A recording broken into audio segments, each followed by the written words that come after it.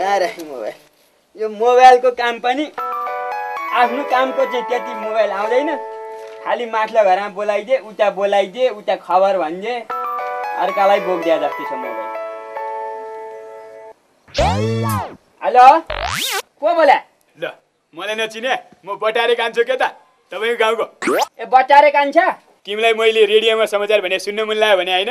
ओ अहिले मेरो समाचार आउँछ सुन है त। ए त त्यत्रो ठुलो मान्छे भइसकिस् अब एफएममा समाचार भन्ने भइसकिस् आइरहेछ अहिले सुनिहाल। है त अहिले म राखिदिएँ। मेरो समाचार भन्न जान्छु क्या ल सुनिहाल है त। ए ल ल ल। समाचार भन्ने भइसकेछ है घाँटी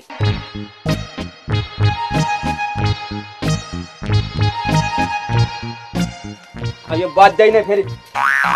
समाचार आइसक्यो होला ब्याटरी उल्टो पारेर राखेको हुन्छ फेरि नत्र ब्याटरी खान्छ यहाँ। कता हो? अदालतको फैसला हेर्दा पनि पछिल्ला दिनहरूमा दाम्पत्य जीवनमा चिरा परेको देखिन्छ। यस वर्ष मात्र सोह्र सय जोडीहरूले छोडपत्र गरेको देखिन्छ। विशेष गरी श्रीमान श्रीमती बीच विवादको विषय धन सम्पत्ति रहेको पाइएको छ। श्रीमानले पैसा नकमाउनु जाँड रक्सी खानु तथा बेरोजगार बस्नु श्रीमतीका लागि ठुलो टाउको दुखाइको विषय भएको छ। गरिबीका कारणले पनि श्रीमतीहरू दिगदार मानेर आत्महत्या गर्ने प्रचलन बढेको देखिन्छ। के सुनिरहेको? आफ्नो काम आफ्नो आफ्नो काममा जाऊ न। त्यहाँ यहाँ म एकछिनको समाचार सुनिरहेको। मात्र 1600 जोडीहरूले छोडपत्र गरेको देखिन्छ। अझै के? मलाई पचास रुपियाँ पैसा चाहिएको थियो। आ, सुक्क पनि छैन। भिनाल भन् न। पचास रुपियाँ चाहिँ होइन पचास पैसा चाहिँ टिका लाएर देला नि भिनालले। अनि कहाँ जानु लाग्यो नि ती जाकर हार आयो बरीलाई भनेर नाच्न हिँडे। देखिन स्या डोरी बोकेर हिँडे जङ्गल जान लाग्यो नि जङ्गल तिजको रहर आयो बरीलाई जङ्गल। बरु यी घरमै झलकदेखि लाजा गर्ने नि। ए पचास रुपियाँ दाम होला। पचास रुपियाँ दाम होला। तेरो चाहिँ के पैसै मात्रै माग्ने काम होला। पचास रुपियाँ जुन पनि कमाहरूले नि यत्र पाखुरा भएको मान्छे। कहाँबाट कमाउनु? जागिर हुनु परेन। जागिर हुनु परेन। घर के भइरहेको छ के टेन्सन परिरहेको छ के कुरा भइरहेको छ यहाँ? बुझ्नु पर्दैन पैसा माग्नु भन्ने पहिला। तिमीलाई चाहिँ खालि टिनसिन मात्रै। के भइरहेछ त्यहाँ रेडियो सुन त्यहाँ रेडियो। अहिले भर्खरै प्राप्त समाचार अनुसार एक महिला डोरी बोकेर जङ्गल गएको र त्यही डोरीमा झुन्डेर आत्महत्या गरेको समाचार आएको छ। सुनिस्। यही समाचार सुनेर उहाँ तेरी दिदी डोरी टिपेर हिँडी। ज्यान तलमाथि पऱ्यो भने के गर्ने ए त्यस्तो आत्महत्या गर्ने खालको मनमुटु भएको सन्तान होइन हाम्रो। तिमी जस्तै हो मर्नै परे पनि दुई चारजनालाई मारेर मात्रै मर्छ। त्यति कमजोर नठान क्या हाम्रो सन्तान। त्यसै गरी श्रीमानबाट दिगदार भई राम्रा राम्रा ह्यान्डसम केटाहरू खोजेर पहिला जाने प्रचलन पनि अत्याधिक महिलाहरूमा पाइएको छ। होइन त्यो त्यो बोलेकी पनि छैन धेरै है। फुत्त डोरी लिएर हिँडेपछि मलाई त शङ्का लाग्यो। हेर्न हिँड्न हेर्न हिँड्न। ए चाहिँदैन यसो च्यो गरौँ न। के चिया गर्नु? नि तिमी जस्तै हो र चिया गर्नु। तिम्रो भए चाहिँ भर हुँदैन थियो ए, कान्छा। के भयो? म यहाँ यता गएको देखिस्। ए भर्खर जाँदैछ नि डोरी लिएर। घाँस काट्ने हिँड्ने होला नि। त्यहाँ घाँस काट्नु नि? उहाँ पासो लाउली जस्तो भयो। ए भाउजू! कहाँ कराइहालेको? त्यो कराएको सुन्यो भनेदेखि त झन् दौडिन्छ क्या लुसुक्क जानुपर्छ कि? लुसुक्क। के भयो त? कहाँ गयो कहाँ कहाँ गयो नि कहाँ अब फेरि यही जङ्गल चाहिँ त्यो रुखका हाँगा चाहिँ सबै यसो तेर्सो तेर्सो पर्या हुनुपर्ने यसो गर? खुर्पा ल्याएर त्यो जङ्गलको तेर्सा हाँगा यति सबै काटिदियो रुखको हो त्यो रुखको हाँगा काट्नु फेरि वनपालीले आएर फेरि लैजाला हो त साँच्ची खोजौँ बरु ए बोलाउँ बोलाउँ बोलाउँ बोलाउँ बोलाउँदा झन् हुँदैन झन् झन् कुरो बिग्रिन्छ। पहिला त्यो कहाँ कहाँ कता गइछ यसो हेर्नु पर्यो के? ऊ त्यो त्यो त्यो माथि जस्तो छ हेर। होइन के छासराक छिस्री गर्छ? अब के गर्ने भनेदेखि त्यो जङ्गली जनावर भनेपछि त्यो एकदमै डराउँछ यो जङ्गली जनावर जस्तो कर कराएपछि त्यो तर्सिएर घर आउँछ कि? कराउनु कराउनु त टङ्करा चाहिँ मलाई आउँदैन त्यति। बिरालो भने जङ्गली जनावर हो। अरू त कराउनै आउँदैन त अनि। बाघ जस्तो गराउनुपर्छ बाघ जस्तो। तिमीलाई आउँछ ल कराउनु त ल। अबुई हो। यो काँड फेरि काँड आयो। यो यो मेरो छाती अलि सास पुगेन छाती थिच्दिएँ ल मैले कराउँदा। ल। पक्का बाघ हो। यो कता चाहिँ कराएछ तिन चारतिर हान्छु एकतिर त लाग्ला नि।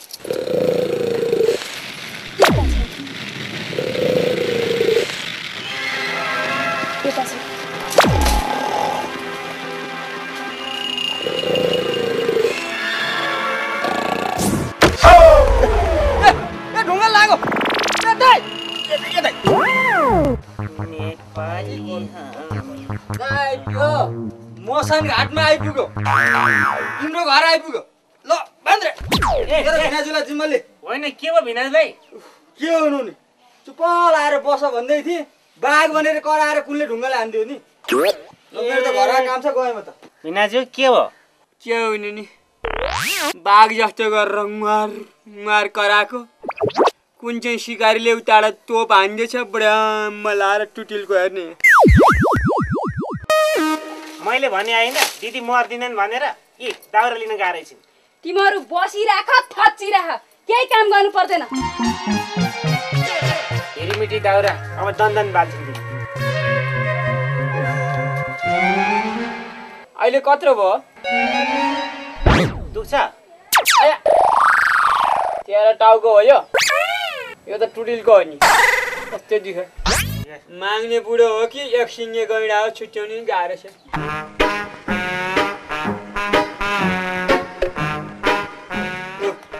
देखिस् होइन? देखिस् होइन? अब मर्न सकिनँ। पहिला हिँडी कुन चाहिँ छ? अब सकिँदैन के गर्ने हो बान्द्रे? ल है त विचार गर म सक्दिनँ हिँड्दिन हिँड्दिन के का पहिला जानु बुढेसकालमा ल हेर्न हिँड्दैन पत्या चो गर्न हिँड्छ आइज त।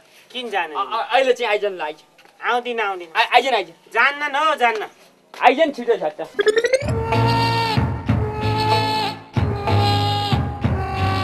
पोको बोकेर ऊ छिटिएर थिएँ कता गयो अब ल? कता गई कता अब तिनवटा बाटो छ। यता गयो कि यता गयो कि? बिनाजु?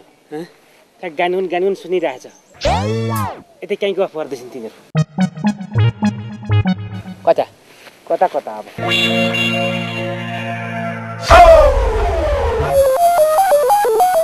यो जानु चाहिँ पहिल्यै जान लायो हो। तै पनि कोसँग जान लाएर छ भन्ने कुरो चाहिँ थाहा हुनु पऱ्यो नि। किन? जारीतिर आउनलाई। चुप्लाक त्यहाँ यहाँ म- माथि चढ्छु है। यहाँबाट घचेर्दै म डिलबाट च्याउँछु कि? ल ल।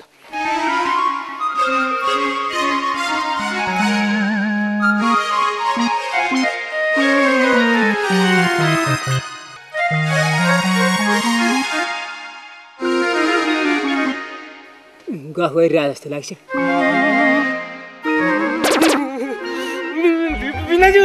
नहालिदिनु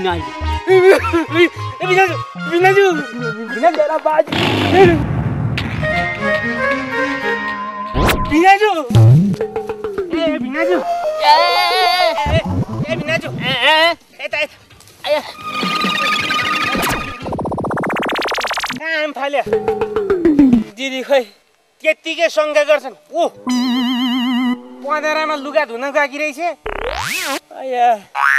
मैले शङ्का गरे हो त रेडियोमा समाचारै त्यस्तो आउँछ त। बुढा! अँ, अनि के भयो यस्तो यो? आया आया।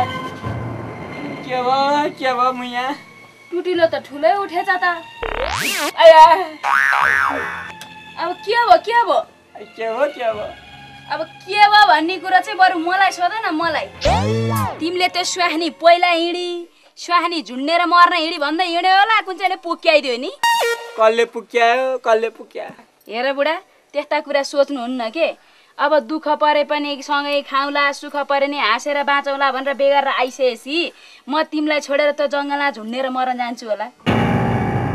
मर्ने कुरो गर्दै नगर तिमीलाई एक्लै छोडेर म झुन्डेर मर्न जान्न। त्यहाँ माथि पहिला जाने कुरो त अब बुढेसकालमा आएर कुन चाहिँ मान्छे खोज्दै हिँड्छु होला म? जुनी जुनीसम्म दुःख पाए नि सुख पाए नि सँगै खाउँला बसौँला भनेर बिहा गरेर आएपछि तिमीले पनि यस्ता कुरा सोच्नुहुन्न मैले पनि यस्ता कुरा सोच्नुहुन्न। सय वर्षसम्म बाँचौँला भन्ने सोचिरहेको छु आफूले यहाँ। बुढो यस्ता कुरा गर्छौ। यस्ता कुरा कहिले नगरेर बुढा? मैले जानी जानी सोच्या हो त। रेडियोमा समाचारै त्यस्तो आयो। होइन काका को गन्थन मन्थन? आज मैले रेडियोमा भने समाचार सुन्यो। त्यस्तो नि समाचार भन्ने।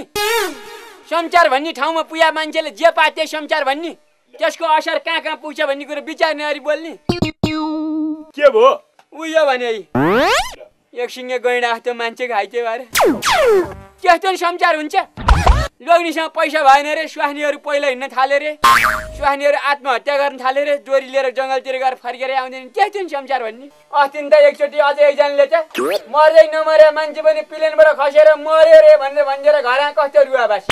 हे तेरि मैले कहाँ त्यस्तो समाचार भने? मैले त्यस्तो समाचार भनेको छु त। मैले त कस्तो कस्तो समाचार भने? हरियो वन नेपालको धन भन्ने समाचार पो भनेको छु त।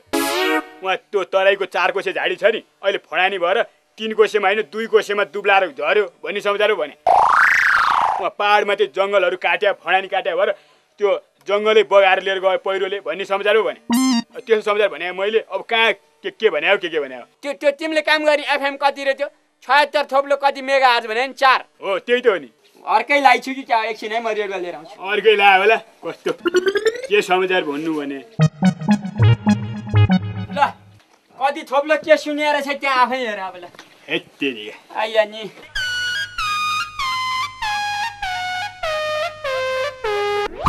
ए बुढाले त बिताइहालेछन् नि मैले उहाँ रेडियोमा काम गर्नुभन्दा अगाडि प्र्याक्टिसको लागि मनलाई त समाचार रेकर्ड गरेको थिएँ त्यही सुनेर मरेछन् बुढाले यो त रेडियो सुन्नको लागि त यो बिहान छ नि यो यता घुमाएर यतातिर पो लानुपर्छ ए बुढा